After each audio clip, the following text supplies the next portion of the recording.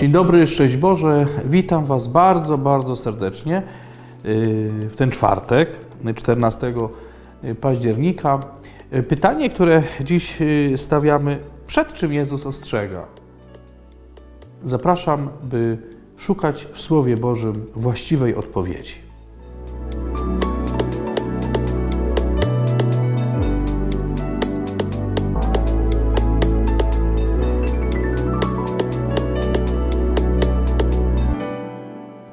Z Ewangelii według świętego Łukasza. Jezus powiedział: Biada wam, ponieważ budujecie grobowce prorokom, a wasi ojcowie ich zamordowali. Zatem dajecie świadectwo i przytakujecie uczynkom waszych ojców, gdyż oni ich pomordowali, a wy im wznosicie grobowce. Dlatego też powiedziała mądrość Boża: Poślę do nich proroków i apostołów, a niektórych z nich zabiją i prześladować będą. Tak na to plemię spadnie kara za krew wszystkich proroków, która została przelana od stworzenia świata, od krwi Abla aż do krwi Zachariasza, który zginął między ołtarzem a przybytkiem. Tak, mówię wam, zażąda się zdania z niej sprawy od tego plemienia. Biada wam uczonym w prawie, bo wzięliście klucze poznania. Sami nie weszliście, a przeszkodziliście tym, którzy wejść chcieli. Gdy wyszedł stamtąd, uczeni w piśmie i faryzeusze poczęli gwałtownie nastawać na niego i wypytywać go o wiele rzeczy. Czyhali przy tym, żeby go pochwycić na jakimś słowie. Mocny tekst, mocne słowo. Y, poruszające, poruszające mnie bardzo.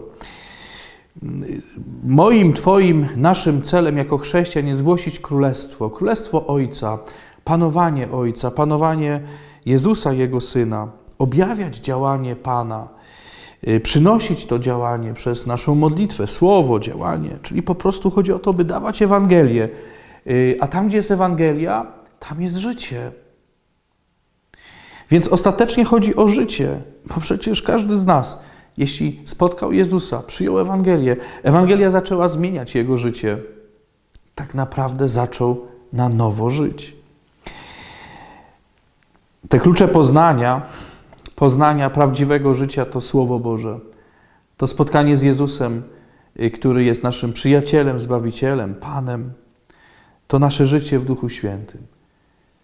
Jezus mówi do faryzeuszów, że byli blisko Boga, blisko poznania Boga, yy, który objawia się właśnie w Jezusie, ale odrzucają, nie chcą słuchać, yy, mają swoją wizję. Y, znają pisma, które ewidentnie prowadzą do spotkania z Jezusem, ale oni nie spotykają Jezusa i jeszcze innym zabraniają. I tak sobie myślę, że w każdym z nas, ewangelizatorów, ludzi wierzących, ochrzczonych, może być taki faryzeusz, że bronię y, Ewangelii, tak, y, dostępu do Ewangelii, bronię tego, żeby ludzie nie mieli mm, takiego głębokiego spotkania z Bogiem, bo na przykład wpychamy ich w swoją wizję, y, w swoje tradycje, zwyczaje. Nie?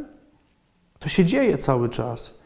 Ale tam, gdzie też brakuje słowa, tam, gdzie jest więcej tradycji religijnej, rytuałów, koncentracja na rytuale, a nie na żywym słowie Boga, nie na prawdziwej wierze w Jezusa Chrystusa, no to wielu ludzi nie doświadcza Jezusa, bo im chrześcijanie nie umożliwiają tego. To słowo powinno wstrząsnąć każdym księdzem, biskupem, każdym świeckim bratem czy siostrą.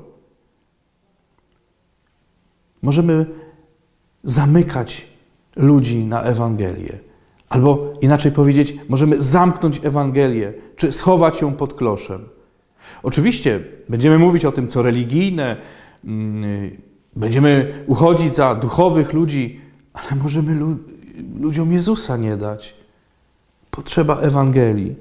Najpierw spotkanie z Jezusem, najpierw głęboka relacja z Jezusem, a potem dopiero i prawo, i liturgia, i doktryna, yy, cała wiedza religijna, zwyczaje. Najpierw spotkanie z żywym Jezusem.